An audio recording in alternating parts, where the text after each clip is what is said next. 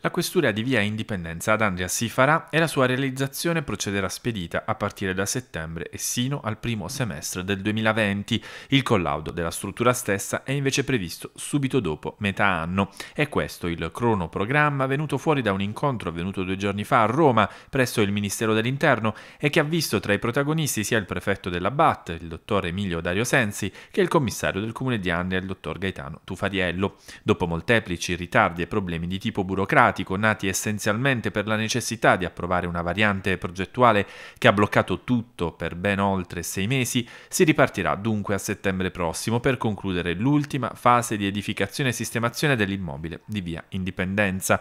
Ad affiancare prefetto e commissario ci sarà anche una dirigente della polizia, cioè Isabella Fusiello, andriese di nascita ma attualmente in servizio a Roma ed ex questore di Trieste. La volontà, insomma, sembra davvero esserci per ogni attore in campo, sperando che i lavori procedano ovviamente in modo spedito come da cronoprogramma.